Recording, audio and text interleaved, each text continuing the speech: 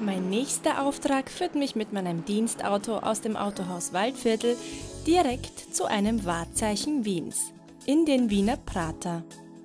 Zuerst noch ein kurzer Stopp an einer Ella Ladestation, dann bin ich auch schon fast da. Im Wiener Prater möchte ich heute ein neues Geheimrezept ergattern. Bevor es für mich ins Chocolate Museum geht, noch einen schnellen, geschmackvollen Kaffee vom Espresso Mobil. Gesüßt wird mit einem Stück Candisin Stevia. Dann bin ich auch schon im Herzen des Wiener Prater angekommen. Im Chocolate Museum angekommen, kommt mir eine Idee. Ein Schokoladenrezept. Das wäre doch mal eine gute Idee für meine Agentendatenbank. Nebenbei könnt ihr hier auch noch so einiges über Schokolade und über die Schokoladenherstellung erfahren. Am Eingang des Chocolate Museums begrüßt mich Geschäftsführer Bojan. Hi. Hello, welcome Sonja. to the Chocolate Museum.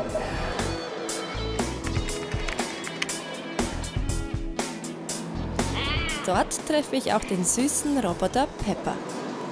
Alles klar. Seit wann hat das Museum offen? Das Museum ist brandneu. Wir haben erst vor zweieinhalb Monaten eröffnet. Und wer besucht das Museum aller? Das Museum ist für alle Altersgruppen geeignet, egal ob 7 oder 77. Wir wollen, dass jeder Besucher sein inneres Kind wiederfindet. Warum hast du dir Wien als Standort ausgesucht? I uh, live and work here. Ich lebe in Wien und arbeite hier im Schokoladenbusiness. Dazu ist Wien die Stadt der Museen. Warum also kein Chocolate Museum eröffnen?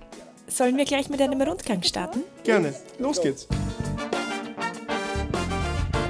Okay. Bevor ich heute an mein süßes Geheimrezept gelange, lädt mich Bojan zu einem Rundgang ein.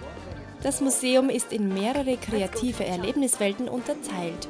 So kann man beispielsweise im ersten Teil des Museums mehr über die Geschichte der Schokolade erfahren, verschiedenste interaktive Spiele ausprobieren oder durch den Dschungel spazieren. Dort begegnen mir nicht nur Krokodile und Affen, sondern auch interessante Fakten über die Kakaoernte. Beim Rundgang treffe ich außerdem Stefan, der viele interaktive Erlebnisse im Museum selbst kreiert hat. Sie sind der Experte für äh, die technische Umsetzung hier. Was war Ihre Aufgabe genau? Ähm, Wir sind eigentlich hier äh, zuständig für die digitale Inszenierung. Wir versuchen Erlebniswelten zu schaffen. Das machen wir äh, mit voller Freude jetzt hier in dem Museum. Generell ist meine Agentur ähm, ein Raumkonzeptentwickler. Wir gestalten eigentlich einen äh, digitalen Dialog zwischen den Besuchern von Museen ähm, und versuchen das Ganze auch ein wenig auszuweiten.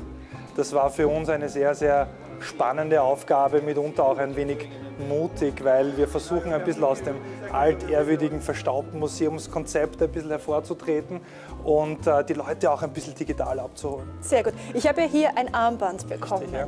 Und was ist jetzt genau meine Aufgabe mit diesem Armband? Was muss ich damit jetzt machen? Mit dem Armband haben Sie sich hoffentlich oben schon registriert. Hab ich, ja. Sehr gut, sehr gut. Ähm, wir erfassen hier nur ganz wenig Besucherpräferenzen, äh, um Ihnen dann auch später nach dem Museumsbesuch ein bisschen was über Ihren Schokoladentypen zu erzählen und Ihnen vielleicht hin und wieder ein paar Informationen zuzuschicken, die speziell auch für Sie interessant sein können. Da unterscheiden wir uns ganz speziell von allen anderen Museen, da wir versuchen wirklich auch nachher mit den äh, ähm, Besuchern hier in stetigen Kontakt zu bleiben. Wenn Sie jetzt so ein Band äh, gelöst haben und sich in diesen Erlebniswelten befinden, dann äh, würde ich Sie bitten, einfach an einer dieser Stationen das Band anzuhalten. Sie werden dann sofort registriert und äh, die ganze Gamification, dieser spielerische Ansatz legt los und beginnt. Und wenn ich jetzt besonders gut bin bei den Spielen, kann ich da auch etwas gewinnen? Ja, das Museum überrascht Sie dann natürlich. Generell ähm, wird hier wirklich jeder Besucher mit einer kleinen Aufmerksamkeit ähm, äh, beglückt äh, beim Museumsausgang. Das heißt, direkt im Shop erhalten Sie dann, je nachdem wie aktiv Sie waren, wie fleißig Sie waren und auch wie richtig Sie diese ganzen Fragen beantwortet haben, äh, ein, ein Präsent in Form von Schokolade. The, the first one was the numbers. Now this one is more easier sentences. Das Chocolate Museum Vienna im äh, Wiener Prater am Riesenradplatz ist die ideale Location, äh, um etwas Neues zu lernen, sich kreativ zu betätigen und auch die ideale Location für Veranstaltungen, Geburtstagspartys und Schulführungen. Nach so viel Theorie interessiert es mich natürlich, Schokolade selbst herzustellen. Meine eigene hochwertige Schokolade kreieren, das war schon immer ein Traum von mir. Das Herzstück des Workshops ist der große Schokoladenbrunnen. Der funktioniert sogar mit dem Apfel von frischsaftig steirisch. Dann geht's an die Schokoladenherstellung. Auch die Pralinen zu füllen, ist für uns Teilnehmer eine ziemliche Herausforderung. Vom großartigen Ergebnis sind wir alle selbst überrascht. Offenbar haben auch die anderen Workshop-Teilnehmer, genau wie ich, ziemlich großen Spaß an der Schokoladenherstellung. Mir hat es ausgesprochen gut gefallen. Ich bin besonders begeistert davon, dass man hier Schokolade nicht nur essen, sondern mit allen Sinnen erleben kann.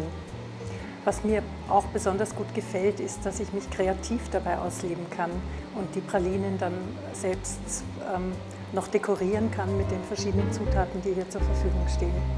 Und es schmeckt köstlich. Anschließend wartet dann endlich mein lang ersehntes Geheimrezept auf mich – Bojan und ich bereiten die Marie Antoinette Trinkschokolade zu. Das ist eine besondere Schokoladenkreation mit Orangengeschmack und Mandelöl. Zuerst kommt etwas vom hausgemachten Sirup in die Tasse.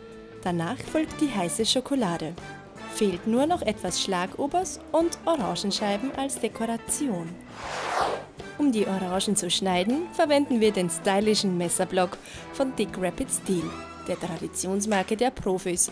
Davor muss das Messer allerdings auch noch mit dem Steel Messerschärfer geschliffen werden. Beides ist übrigens bei der Firma WHSF in Straßwalchen erhältlich. Bevor es jetzt ans Verkosten geht, helfe ich Giovanna noch schnell beim Reinigen der Arbeitsplatte mit Scotch Brite.